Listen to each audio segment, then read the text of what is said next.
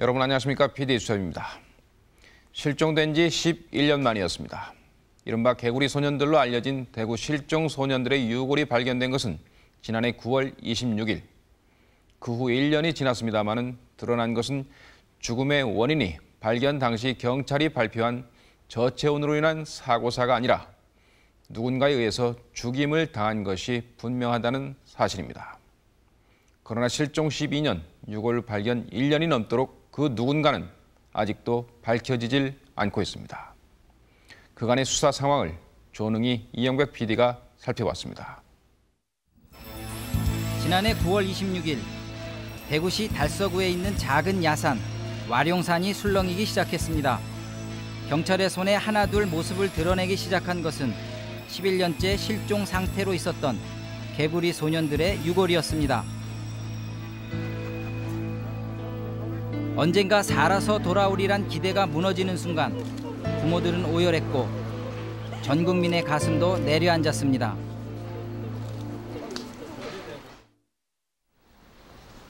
유골이 발견된 지 1년.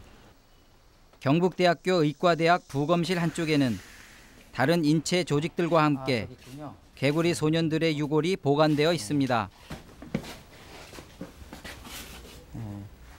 이게 지금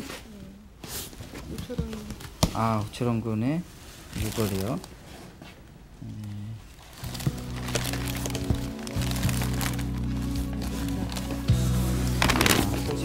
아 양말. 실종 11년. 백골이 되어서야 이 세상으로 다시 돌아온 아이들. 그러나 아직 장례식도 치르지 못한 상태였습니다.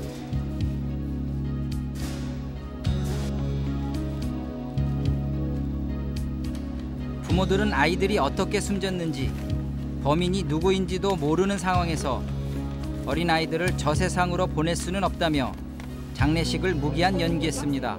지금. 지금 유골이 이게 전부가 아닌 것 같아요. 상당히 양이 적은데요. 이 전부입니까? 아니요 미분류된 뼈는 따로 보관되어 있어요. 따로요? 누군지 다섯 명인지 누군지 모르는 예. 거는 아, 이, 이 상자예요. 예 아, 여러 뼈들은 따로 아 미분류. B 지역에서 나왔던 주가뼈 예. 아, 근데 왜 누구 건지 모르죠? 거, 그 현장에서 나온 거죠? 예 현장에서 그냥 분류 없이 그냥 발굴해서 나중에 돼서 누군지 모르는 예. 초창기 경찰의 섣부른 대응은 진상 규명은 물론 유골 분류까지 힘들게 만들었던 것입니다. 여기 근데 지금 저 두개골은 없네요. 이 두개골은 따로 중요한 거니까 따로 교수님 연구실에 따로 보관되어 아 있어요. 연구실에요. 예. 예. 경찰의 저체온사 추정을 뒤엎고 타살 결론을 내렸던 경북대 법의학팀. 담당 교수는 지난 1년간 두개골과 함께 살아왔습니다. 예, 연구실에 보관하고 있습니다. 일년간 예. 계속 근데 왜 따로 이렇게 보관하시는 이유가 있으세요? 언제든지 자주 자주 보려고 그런 거죠. 아 연구실에서요, 수시로요. 예. 예. 둘 있고 경북대 법의학팀은 타살 결론을 내린 이후에도 경찰과 정보를 교환하며 범인의 윤곽을 더듬어 왔습니다. 그러나 유족들에게 지난 1년은 너무나 고통스러운 시간이었습니다. 참다 못한 유족들이 청와대를 찾았습니다. 좀 수사를 적극적인 수사를 해가지고 범인을 좀 검거해 주시면 하는 게 우리 애들 죽은 아들의 한을 풀어주는 아버지의 그 참 워입니다. 대통령께서 조금 더 어, 힘을 써 주셨으면 하는 그 부탁을 좀 드렸으면 하는 마음에서 찾아왔습니다. 이날 유족들은 전면적인 재수사를 요구하는 한편 대통령의 면담을 요청하는 민원을 청와대에 접수시켰습니다. 현재 수사본부가 설치된 곳은 대구시 달서경찰서. 유해 발견 직후 45명이던 수사진이 지난 4월 이후 20명으로 축소 운영되고 있습니다. 무범자하고 건구관계는 지금까지도 씨가 당시 달서 신당동에 살았고 또 경찰은 신고 보상금을 4천만 원으로 올리는 등 사건 해결을 위해 노력하고 있습니다. 최근엔 새로운 단서도 취재진에 공개했습니다. 아, 이게 여기 그 당시 뭐 좀 오래된 건데 우유팩이요. 현장에서 발견된 해태 튼튼 우유팩. 예, 요 안에 그 탄두 탄두 138발이 들어있었습니다. 들어있었는데 그 탄두 부분에 대해서도 저희들이 그 국가수에 올려가지고 우유팩은 유골 발굴 지점에서 과거 군 사격장 방향으로 40여 미터 위쪽에서 발견되었습니다. 예, 여기쯤에 발견했습니다. 그때 어떤 뭐 하시다가 발견했죠? 뭐 그 상황을 좀 설명해 주세요. 제가 2인 1조로 한 사람은 턴치콩을 들고 한 사람은 호- 제가 호미를 들고 있었는데 제가 호미로 땅을 좀 파다가 그 탄피 같은 게 보여갖고 그쪽 사- 손을 사서 걷어내 보니까 거기 흰색 우유곽 안에 다량의 총알이 탄피가 남았습니다. 그걸 다 걷어내고 우유팩은 낙엽과 흙으로 5cm 가량 덮인 채 발견되었습니다. 그 부분은 손을 살살 걷어내니까 거기서 우유곽이 우유팩 안에는 138개의 각종 탄두가 들어 있었다고 합니다. 탄 종류는 권총탄, 보통탄, 뭐 예강탄 그렇고 뭐 구경은 38 구경, 45 구경, 그다음에 5.56mm 탄. 우리 군에서 사용하는 각종 탄두들이 망라되어 있었는데 국과수 감정 결과 혈흔은 발견되지 않았습니다. 총알이 든 이 우유팩은 과연 개구리 소년들과 관련이 있을까? 관심이 집중된 것은 유통기한입니다. 그러나 표시된 부분이 뭉개져서 유통기한을 밝히는 데는 실패했습니다. 그러나 상당한 가능성이 남아 있습니다. 이 우유곽의 디자인은 아이들이 실종된 91년을 전후해 1, 2년간 한정돼 생산됐다는 사실이 밝혀진 것입니다. 성서 초교생들이 실종 어린이들이 그 당시에 갖고 예, 있었던 갖고 것으로 있었던 것으로 이제 일단 추정을 저희들이 하는데 확실한 것은 나온 것이 없, 없기 때문에 확정 지을 수는 없습니다. 우유팩이 개구리 소년들의 것이라면 그 많은 탄두는 어디서 주었을까? 유골 근처에서 발견된 탄두는 대부분 금속 탐지기 때문이었습니다. 과연 아이들이 총알을 산에서 주었을까? 아니요. 산에 산에서는 절대 못 주어요. 산에서 사격을 하는 게 아니기 때문에 산위에선 주는 게 없어요. 거의 없어. 거의가 아니라 100% 없어요. 그 산에서는 총알이 옛날에 거는 아주 녹이난 게 있었었는가 몰라도 그, 그 애들 사라질 때까지만 해도 그쪽에는 일절 사격을 안 했으니까요. 당시 아이들이 탄두를 줍기 위해 즐겨 찾던 곳은 동네 근처의 군 사격장이었습니다. 사격장 안에 들어가서 이제 흙을 파내고 그래 이제 안에 총알, 탄피 이런 거 주워내고 보통 이제 우유팩이나 아니면 1.5리터 PT병이나 저 애기 분유통 이런 거를 이제 들고 갈 때도 있고 없으면 그냥 비닐 비닐봉지 이런 데다 이제 담아오기도 하고 아이들이 탄두를 줍기 위해 사격장에 드나든 사실은 군에서도 확인이 되었습니다. 어린이들이 휴일날 들어와가지고 주스면 이제 내보내야 되기 때문에 가면은 또 나갔다 다시 들어오고 해서 이렇게 주는 것을 여러 번 목격을 했고 눈으로 확인했습니다. 그런데 그동안 경찰이 그려온 개구리 소년들의 예상 이동로에는 사격장이 언제나 제외돼 있었습니다. 이에 따라 실종 초기의 수색은 물론 이후 수사도 사격장 왼쪽의 불미골과 와룡산 서편에 집중되었던 것입니다. 경찰이 이 같은 판단을 내린 것은 불미골에서 아이들 다섯 명이 산으로 가는 것을 봤다는 주민 김 씨의 진술 때문이었습니다. 문제는 신빙성. 이 진술은 아이들이 실종된 지 두 달 후 나왔는데 진술을 한 김 씨는 개구리 소년들의 얼굴을 모르는 사람이었습니다. 그러한 목격자들이 명확하게 아이들의 신분을 알고 누군지를 알고 있는 상태였다면 다르겠지만 어, 그렇지 않은 상태 그저 아이들이 올라가는 것을 보았다 근데 누군지는 모르겠다 이런 상황이라면 그런 목격담에 너무 지나치 의존을 해서 어, 사고의 시점을 확정 짓는 것은 대단히 위험하다고 할 수 있죠 김 씨가 아이들을 봤다고 진술한 시각인 오후 2시에 대해 유족들은 초창기부터 타당성이 없다고 주장해 왔습니다. 그러면 집에 11시 반에 왔어. 점심을 먹고 도장에 가야 되거든요. 그래 그 시간에 하면 잘못됐다. 그러니까 하면 일이 났다, 났다는 겁니다. 무슨 일이 나도. 그래 우리가 그러니까 11시, 12시 이전에 안 돌았다는 게 이게 지금 이해가 안 되고요. 한 번도 도장에 빠진 적이 없고. 요 노란 것은 그 신빙성이 좀 없다고 보여지는 걸로 저희들이 해놨는데 특히나 이제 요 선원마을 쪽에서 발견된 경찰도 최근 불미골 김씨 진술의 신빙성에 문제가 있다는 입장입니다. 발견된 것은 그 당시에 신빙성이 있다고 했기 때문에 그 했는데 요 부분은 정확하게 정확하게 그 저희들이 판단이 조금 흐려지는 부분인데요. 8시경 집을 나선 개구리 소년들이 학교를 거쳐 이곡동까지 간 사실은 아이들을 잘 아는 사람들에 의해 목격되었습니다. 이후 아이들은 어디로 향한 것일까? 당시 아이들과 동행하던 또 한 명의 친구가 있었습니다. 도중에 몸이 아파 돌아온 김군은 아이들이 선원지 연못으로 간다는 얘기를 들었다고 합니다. 보통 저수지에 올라간다면 못에 올라간다면 보통 가는 게 그쪽 한쪽이니까 가는 부분이 똑같으니까. 총알 주스러? 예, 총알 주스로도 가고 뭐 가면 이제 꼭 들리는 곳이 거기거든요, 사격장. 경찰이 추정해온 이동로는 선원지를 거쳐 불미골로 향하지만 김군의 진술과 탄두가 담긴 우유팩의 발견 그리고 6월 발굴 지점을 연결하면 새로운 예상 이동로가 그려집니다.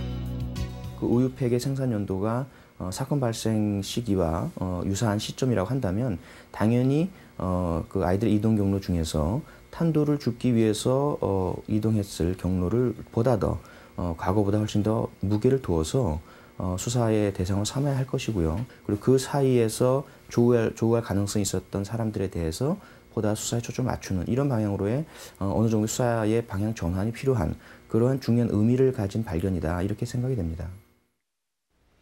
네, 조롱희 PD 지금 아이들의 이동 경로가 지금 사격장 쪽으로 갔을 가능성이 높다는 얘긴데 그렇다면 군이 다시 그 의혹의 대상이 되는 겁니까? 예, 꼭 그런 것만은 아닙니다. 아, 왜냐하면 군은 이미 아이들이 실종된 91년 3월 26일은 임시 공휴일이라 사격은 하지 않았다고 밝히고 있습니다. 아, 그런데 확인한 바에는 이것이 사실로 확인되었기 때문에 아, 당시 사격은 하지 않은 것으로 판명되었습니다.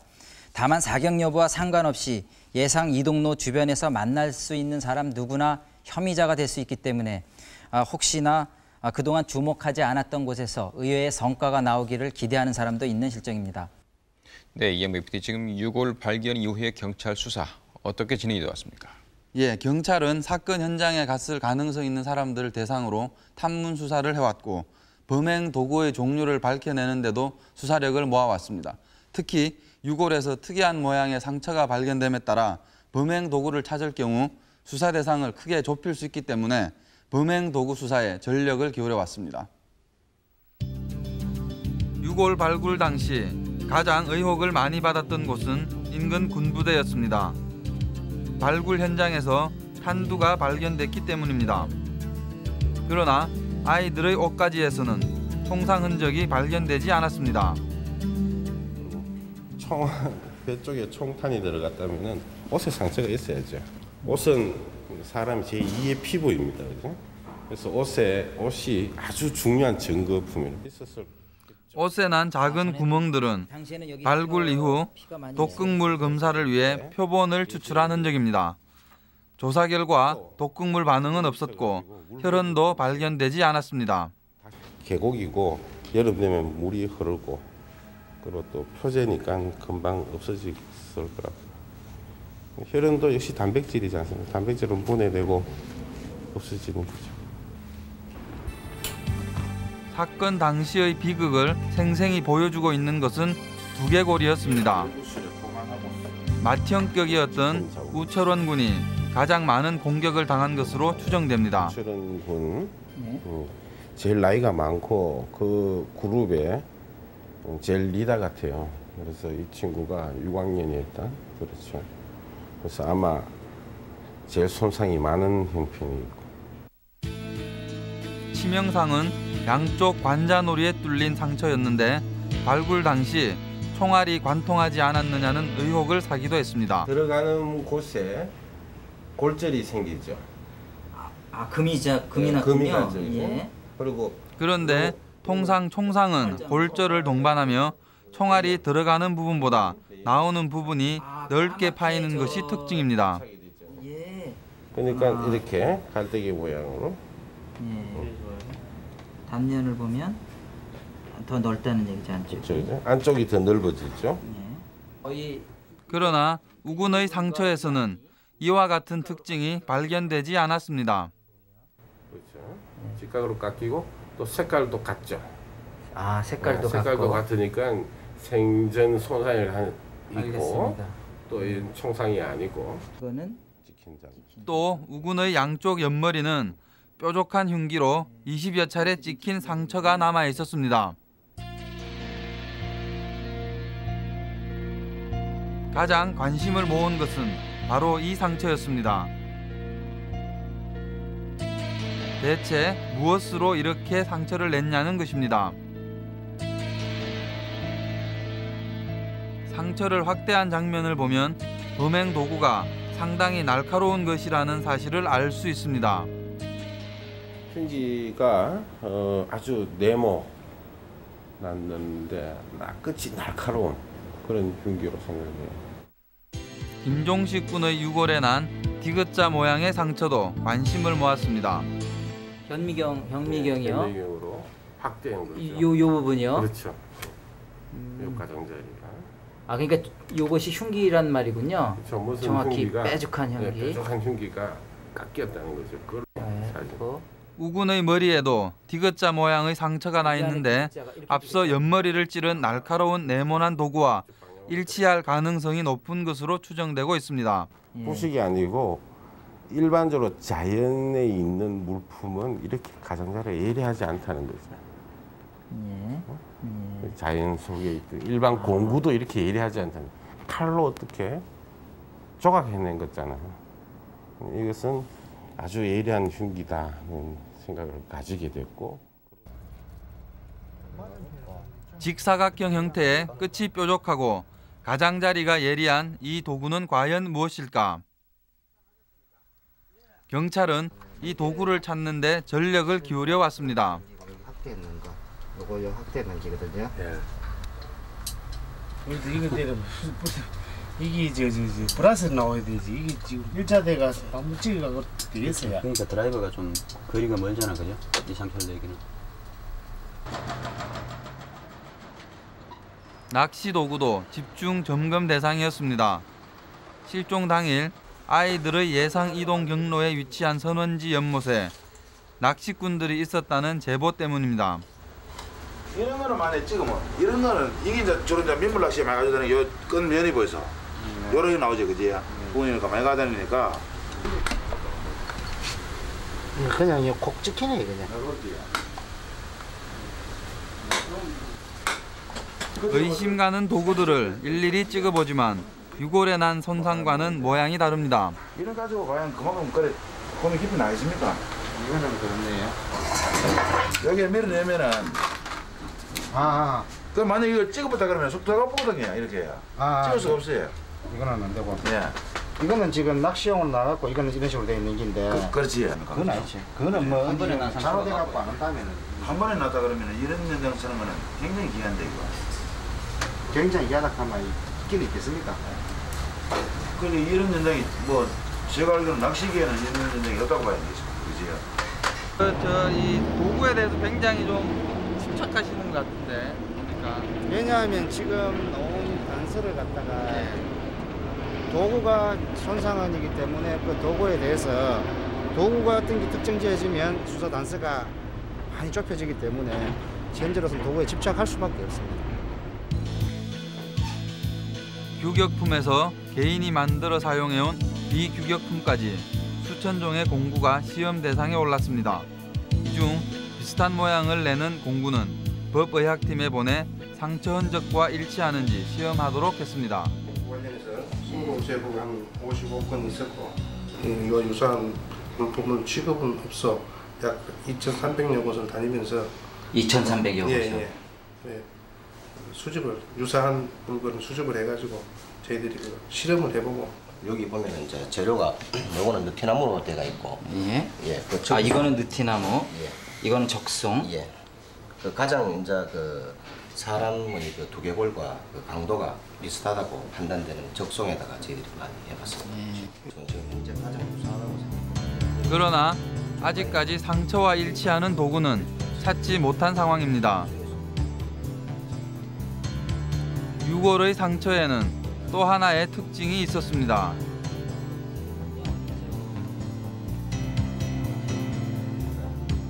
가격 방향과 상처들의 모양이 일정한 방향성을 가지고 있다는 것입니다. 처음에 이는 이런 방향성을 갖고 있기 때문에 어, 어떤 발사체가 아닌가로 추정해서 공구총 발사도 하고 했지만 어, 재포화된 공기총이 아니라는 거죠. 소년들의 유골에 난 상처는 날카로운 네모 모양이지만 이와는 달리 공기총 산탄으로 인한 상처는 둥근 원 모양입니다. 이 때문에 경찰은 한때 사제 공기총탄이 아닌가 의심하기도 했습니다. 공장에서 나오는 새 조각으로 총탄을 대신했을 수도 있다는 추측이었습니다.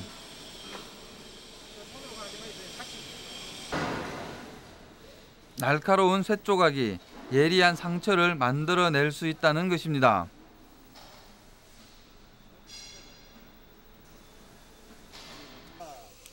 당시 와룡산 일대에 미렵군이 출몰했다는 제보도 이 같은 추론을 뒷받침했습니다. 경찰은 지금까지 수십 차례 갖가지 쇠조각으로 공기총 발사 시험을 해왔습니다. 공기총 탄피에 날카로운 쇠조각을 장전해 사용할 수 있기 때문입니다.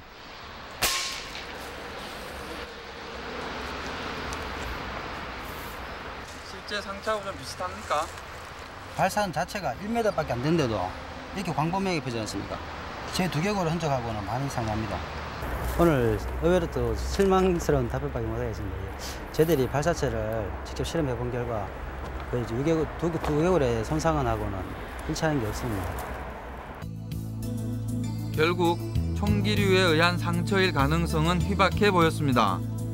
전문가들은 12년 전 이른 봄 대도시 주변의 야산이나 군 사격장 부근에 출몰할 만한 사람들이 평상시 휴대할 만한 물품에 무엇이 있나 주목할 필요가 있다고 말합니다. 다섯 명의 어린이를 살해할 만한 사전적인 어떤 이유가 있다고 호결했기 때문에 그런 경우에라고 한다면은 범죄자도 우발적으로 혹은 그 현장에서 우연히 이제 살인하게 된 그런 경우라고 볼 수 있는데 그런 경우라고 한다면 범죄자가 사용할 수 있는 도구는 무엇일까? 그것은 범죄자가 평소에 갖고 있는 도구였을 수도 있고 갖고 있는 도구가 아니라고 한다면 현장에 있는 도구일 수가 있다는 겁니다. 아주 특수한 목적에 사용되는 물건이기 때문에 일상적으로 사용되는 게 아니라 그래가지고 그 물건이 아주 특수하게 제작돼 가지고 아니면 뭐 그 소유주가 자기가 직접 만들었든지 그런 거기 때문에 지금 쉽게 어, 발견할 수 없는 게 아닌가 그렇게 생각을 합니다. 네, 이 뼈에 뚜렷이 각인된 상처 자국이 있는데도 불구하고 범행 도구를 밝혀내지 못하는 수사 현실. 우리 수사 능력의 한계를 보는 듯해서 안타깝습니다. 이영배 PD, 범행 도구의 수사 전망은 어떻습니까? 예, 경찰은 끝까지 수사하겠다는 입장입니다만은 수사력에는 분명한 한계가 있어 보였습니다.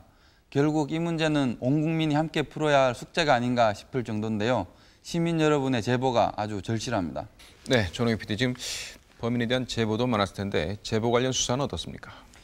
예, 현재 6월 발굴 이후 접수된 제보는 모두 215건입니다. 아, 그중에는 아, 신빙성 없는 제보도 많았지만 최근에는 경찰을 긴장시킨 매우 믿을 만한 제보도 있었습니다. 아, 대표적인 수사 사례를 취재했습니다. 올 4월 또 한 건의 믿을 만한 제보가 접수되었습니다. 당시 택시 운전사가 그 92년도에 92년도에 그 북부 정류장에서 승객 젊은 승객 좀 술이 좀 취했다고 그러더라고요. 젊은 승객 두 명을 태웠는데 와룡산으로 가자고 그러더래요. 그 와룡산을 가는 도중에 뒤에 있는 중에 한 사람이 어, 술김에 하는 얘기가 내가 와룡산 개구리 소년 다섯 명을 죽였다. 비록 11년 전의 일이지만 당시 택시기사 문 씨는 뚜렷이 기억하고 있었습니다. 이름까지 닮아. 어?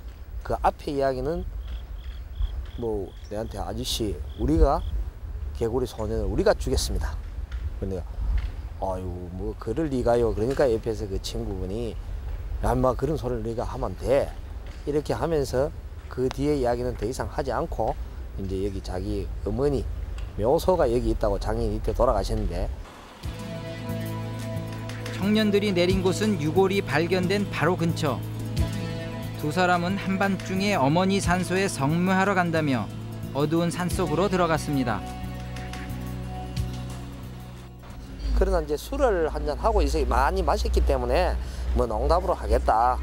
왜? 진짜 자기네들이 죽였는 사람이 누가 앞에서 공개적으로 죽였다고 할 것인가. 그래서 흐지부지 하고 있- 있었는데 어느 날 갑자기 내가 그 택시 내려준 그 자리에서 얼마 안 돼. 불과 몇 메다 안 될 거야. 아마 한 2, 300m. 이 자리에서 유골이 발견됐다니까 그때 그 생각이 떠올라가지고 경찰은 신빙성이 있다고 판단해 수사에 착수했습니다. 단서는 제보자가 들은 이름 두 자뿐. 조회 결과 대구에서만도 같은 이름을 가진 사람이 70명. 경찰은 이들을 일일이 찾아다녔지만 별다른 성과를 얻지 못했습니다. 다음엔 혐의자 어머니의 산소가 진짜로 와룡산에 있다는 가정하에 모든 묘지들의 후손을 역추적했습니다. 요 밑에 입구부터 묘지가 있는데 네. 거기서부터 요 올라오면서 다 조사를 했습니다 저희들이. 아 저 아래 있는 묘지부터 예, 다요? 예. 그 총 몇 개 됩니까 조사한 묘지가? 저기서 여기까지 한 93구 정도 됩니다 묘지. 모든 비석에 이름이 오른 아들들의 주소를 찾아 제보자가 들은 이름을 수소문했지만 성과가 없었습니다. 후손들을 상대로 해가. 과거에 여기 묘지를 관리했던 사람을 상대로 해가지고 탐문 수사를 해보니까 어, 30대 후반 되는 자손이 한 명이 나왔어요. 그래 걔를 찾기 위해 가지고 청도까지 출장을 가서 해보니까 자기 동생 친구 중에 동생 친구요? 예, 아. 자기 동생 친구 중에 제보자가 말하는 그 이름이 있어가지고 그렇게 걔를 상대로 수사를 하게 됐습니다. 딱 데리고 오는데 내가 그때 그 사람이 맞지. 한번 봤는데도- 한번 봤는데 대본 왜냐면 그때 인상 깊게 봤지요. 이름도 계속 그걸 몇 번 되면 이제 아 다음에도 혹시 이런 이런 게 무슨 응? 11년 전 택시에서 던진 두어 마디 때문에 혐의자는 꼬리를 잡혔습니다. 그는 11년 전 택시에서 내려 한밤중에 와룡산을 오른 사실을 시인했습니다. 그 친구하고 만나고 한 1년, 1년 헤어졌다가 만나니까 사서 집이 원래 그 고고쳐 있었거든. 집이 고고쳐 있고 산에 이제 뭐 술을 한 잔, 술 먹은, 술 이제 산에 가자. 이래 내가 가다 보니까 뭐 이제 뭐 이런 지 세상에 이런저런 이야기 했겠지. 그 시내에서 그저 와룡산 그 입구까지 타고 갔거든요. 그러나 개구리 소년들을 죽였다는 말을 한 적이 없다고 부인했습니다. 경찰은 거짓말 탐지기를 동원하고 감청 수사까지 동원했지만 혐의 사실을 입증하지는 못했습니다. 그 당시에는 경기도 고양시에 있는 어, 직장에 다녔다 하는 그 그게 확인이 돼 가지고 또 거짓말 탐지기 의뢰해서 수사해 보니까 진실 반응이 나와가지고 그 사람은 이제 범인이 아니라고 저희들이 단정 짓게 됐습니다. 아, 참 황당하지 입장에서요. 이 사람 말은 뭘로 해서 안 되겠다. 이걸 세상 느끼게 되지. 유해 발견 이후 접수된 제보는 215건. 그 중에는 아직도 추적 중인 사람도 있습니다. 6월 발굴 지점으로부터 수백 미터 거리에서 발견된 지하 움막 주인에 대한 수사가 그것입니다. 이 움막 때문에 한때 간첩이 개구리 소년들을 살해했다는 설이 힘을 얻기도 했습니다. 적의 공작원이 은신하는 그런 그 움막하고는 다르다 하는 것을 합신조에서 결론을 내렸습니다. 그래서 이후서부터는 수사본부에 그대로 인계를 해서 차후에 여기 기거한 사람이 누군지 대공 혐의는 해소되었지만 경찰은 다양한 경로를 통해 움막 주인을 수소문했습니다. 당시 이 움막 주인은 누구보다도 유력한 혐의자로 떠올랐습니다. 넉마주의가 여기서 뭐 거주를 안 했겠느냐 그런 차관에서 그 요 와룡산 일대 파주소 직원들을 상대로 그 검문 검색부를 그 찾는 수사를 했었습니다. 거기서 혹시나 그 벌신 검문 중에 그뭐 넉마주의가 개입된 게 있지 않겠느냐 곧 움막 주인을 검문했다는 경찰이 나타났습니다. 당시 용산 파출소에 근무했던 이영기 경사였습니다.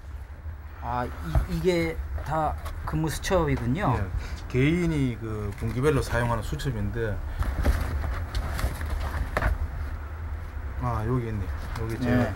2001년도 1월 1일부터 돼 있네요. 그래가 여기 2001년 뒷면에 내가 한 번 더 크게 아, 이경사의 수첩에는 와룡산 비트에 사는 자 김모 씨를 검문한 기록이 남아 있었습니다. 이 경사가 김 씨를 검문한 것은 2001년 와룡산에 수상한 사람이 있다는 신고를 받고 추적 중이었습니다. 그를 만난 곳은 발견된 움막으로부터 40여 미터 아래쪽에 또 다른 움막. 그 사람에 대해서 누가 산에 산다는 걸 알고 주변에 계속 배회하다가 찾아보려고 다니다 못 찾아가지고 바로 현재 지금 제가 서는 위치에 요 밑에서 예. 앉아가지고 예. 뭐 나름대로 이제 좀 쉬려고 하고 있는데 제가 사람이 있으니까 이 안에 있던 요 바로 움막 이 자리에 사람이 있던 그 김모 씨가 자기도 사람이 있으니까 나올 거 아닙니까? 아, 뭐 뒤에서 머리가 뭐 땅속에서 고기가 싹 올라오는데 일단 머리를 이제 그 당시에 정상적으로 이렇게 깎은 머리가 아니고 이렇게 부시시한 머리를 이렇게 올라오니까 막 소름이 확 끼치더라고. 움막이 있던 곳은 조금만 파헤쳐도 생활용품이 쏟아져 나왔습니다. 당시 이경사는 검문을 통해 김 씨로부터 기본적인 사항을 파악할 수 있었습니다. 자기는 뭐 산에 그냥 사는 사람이다. 집도 절도 없다. 이런 이야기를 하더라고. 조회를 해보니까 그 김모 씨가 그 당시 30 한 4, 5세 이런 데 됐을 겁니다. 그 지금 말소가 돼 있고 뭐 가족도 없고 주거가 없는 걸로 판정이 되더라고. 이후 이경사는 김 씨를 주의 깊게 살폈습니다. 그러자 김 씨는 움막을 버리고 위쪽에 새 움막을 만들었습니다. 그마저 이경사에게 발견되자 지난 겨울 산 아래 농막으로 내려와 살았는데 개구리 소년들의 유골이 발견되기 6개월 전 아예 행방을 감추었습니다. 와요 이거 와요 하는 게 기분 있거네 아 추우니까요. 예. 그래 내 좋아하는 날인데 갔거든. 여기 있다가 10월 좋아하는 날이 좀 미술락 하는 거로. 우리 그 사람을 관리를 하는 게 집에 수- 그거 한 따남 조심해가 있어라. 그 사원 일 갔지. 그럼 구문배 오기는 없대 지세 수사 결과 대구에는 김 씨의 동생이 살고 있는 것으로 밝혀졌습니다. 97년도 97년도 그때부터 연락 97년부터. 그럼 여기 저 산에서 산에서 살 때 산에서 살 때 한 번도 못 만나셨어요? 2001년까지 저 산에서 살 때. 아니 저뭐 살았던 사실조차 모르니까 어떻게 모르죠. 아이들 실종 당시에 형님이 어디 계셨다고요? 강원도에 강원도에 그 예, 저 산에 전신술 세우는데 그 따라다니시는 걸 알고 있습니다. 현재 경찰은 김 씨를 살림 훼손 혐의로 수배해 놓은 상태입니다. 그런데 최근 서울 청계산에 김 씨의 것으로 의심되는 움막이 있다는 신고가 들어왔습니다. 예. 그래가지고 비를 그 비가 안 들치게 밑에는 비닐을 카바를 싹 씌웠고요. 나무를 갖다 올려놨고 누가 봐도 쉽게 확인하지 확인되지 않게끔 해놨더라고요. 아 위장을 해놨군요. 네. 그래서 막 처음에는 이 움막을 신고한 사람은 고속도로 위법 차량을 촬영할 위치를 물색하던 카파라치였다고 합니다. 예, 죽전에서부터요 쭉 그 사람이 와가지고 아 이 고속도로 따라서요. 예, 예. 아, 그래가지고 네. 위치를 물색하고 있는데 자기가 찍을 만한 한 곳은 참다 그때 당시에는 카파라치가 있기 때문에 그러다가 좀더 구체적으로 하다가 여기를 목격한 거예요. 말투도 그러고 어디서 왔냐 오니까 대구에서 왔다고 아, 그래서 대구에서 왔다고 예, 그래서요? 예, 예. 그래서 당시 신고를 했던 겁니다.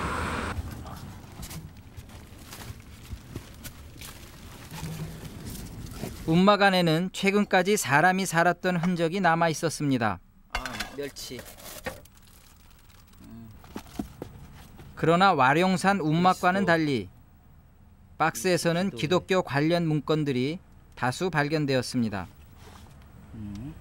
기독교 총연합회 청계산에는 기독교와 관련된 많은 움막형 기도원이 있는데 이것도 그 중에 하나일 것이라는 경찰의 분석입니다. 결국 와룡산의 김 씨와 이 움막의 주인이 같은 사람이라는 증거는 찾을 수가 없었습니다. 여러 가지 정황으로 봐서는 어, 가능성은 희박하지만은 그래도 어, 저희들은 어떻게든 그 본인을 찾아가지고 조사를 해가지고 어, 혐의점이 있는지 없는지 가리고자 지금 계속 추적 중에 있습니다. 92년 그러니까 6월 발굴된 후에 저희들이 이제 수사했던 거고.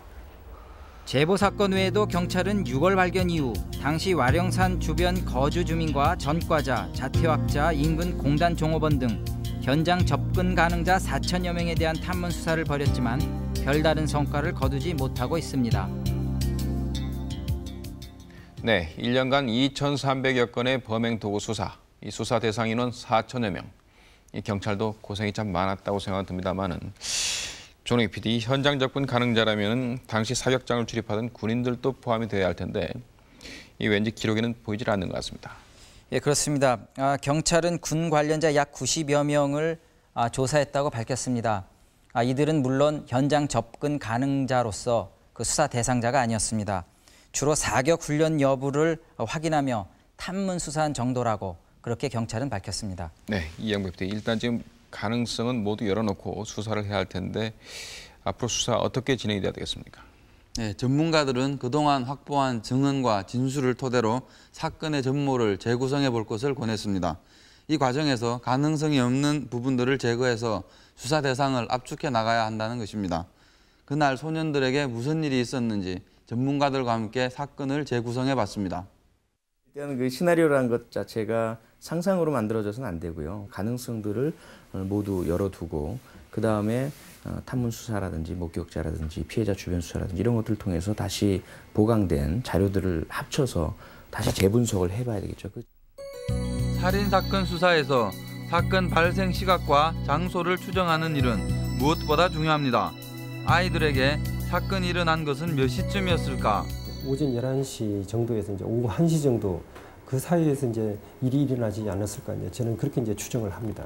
근데 그 이유가 이 아이들이 이제 오후 2시에 어, 태권도 도장을 갖다가 이제 가기로 이제 돼 있었고요.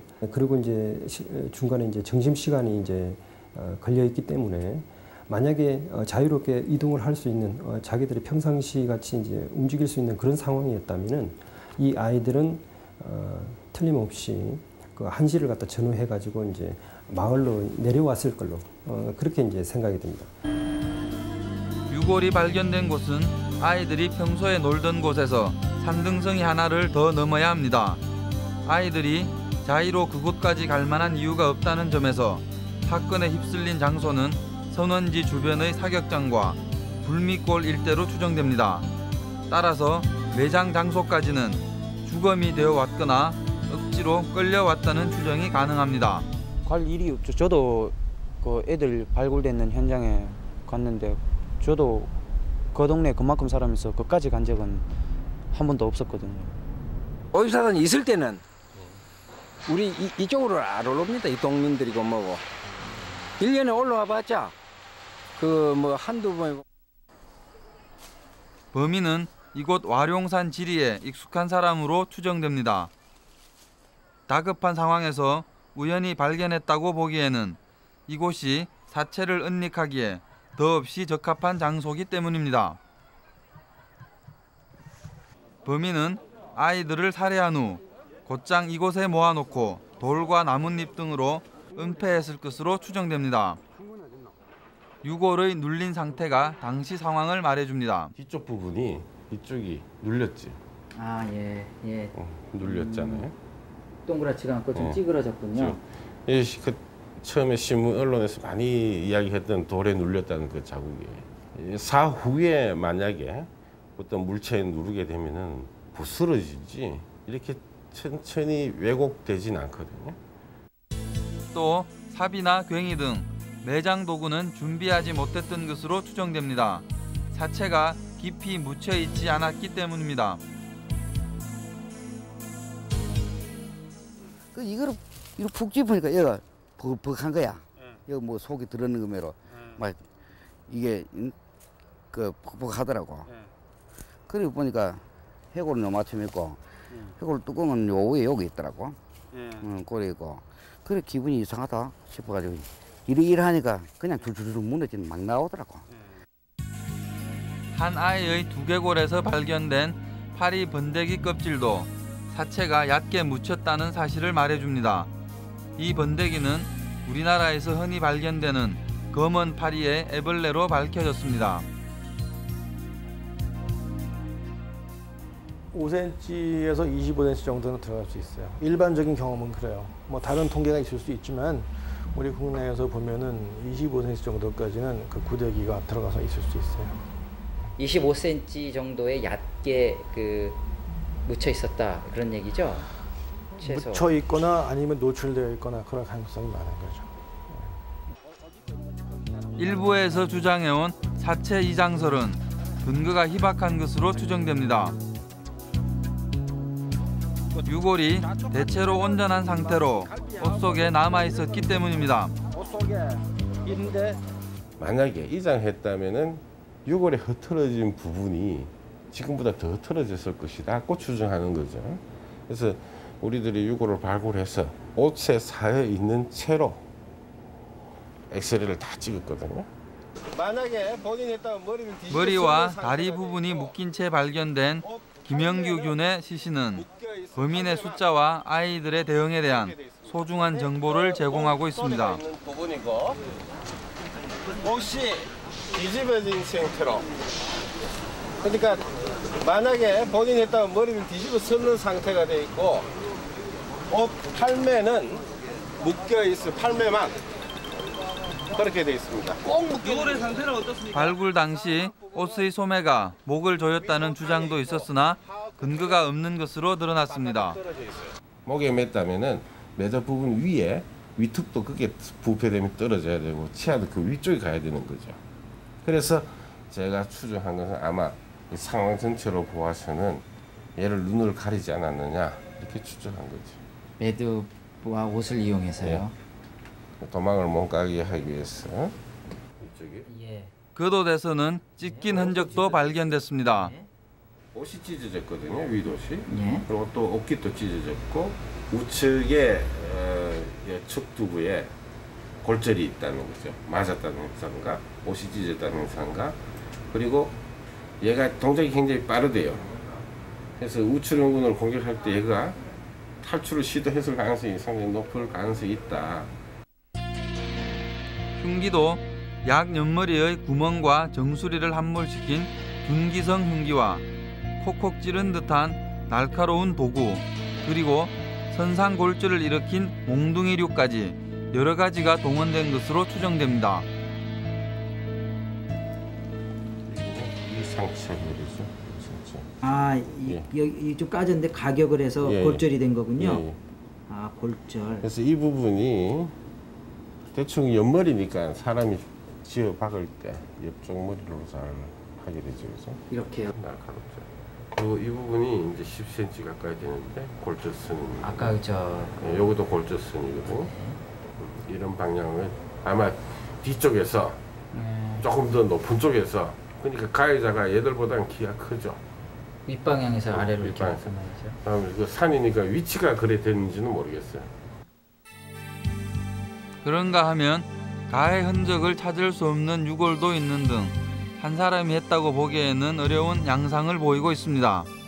다섯 명의 아이들의 난 그 상처들의 모습들과 또 결박된 음, 상황 그리고 나머지 두 아이는 거의 저항 없이 어, 두개골의 손상은 크지 않은 상태로 사망이 이루어졌고요.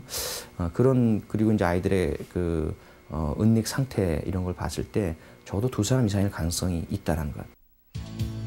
20여 회나 찔린 상처는 범인이 상당히 흥분했거나 가학적인 성격일 가능성을 말해줍니다. 스물 몇 번이나 이렇게 찍는다는 것 자체가 아주 뭐 좀 못된 애들이라든지 그뭐 성질이 그런 계통이 아니겠느냐 이런 뜻이죠.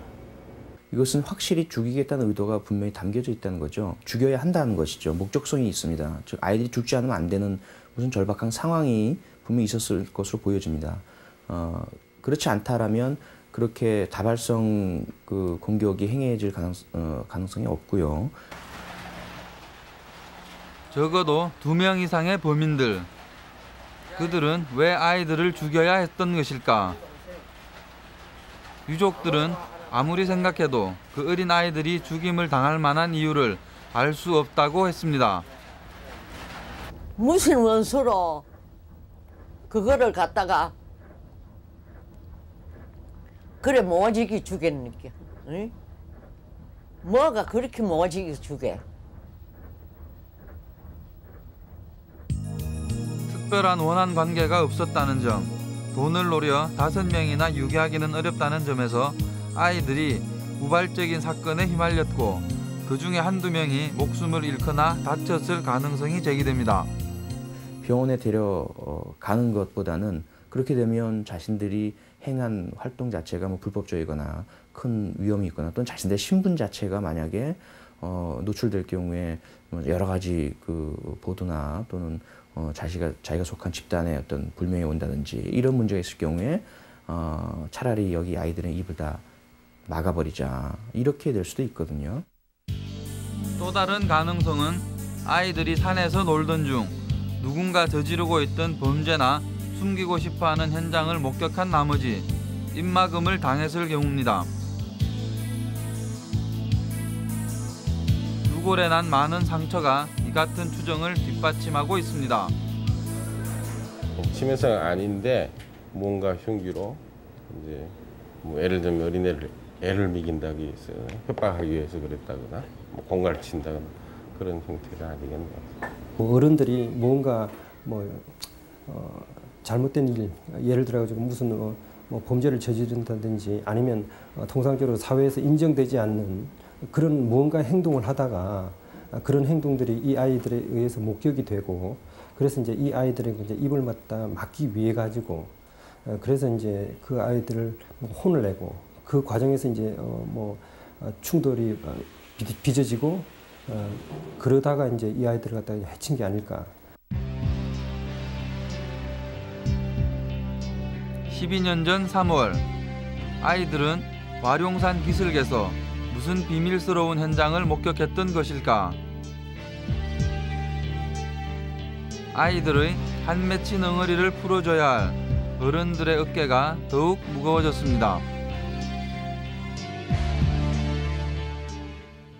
네, 이 살인 범죄의 공소시효는 15년.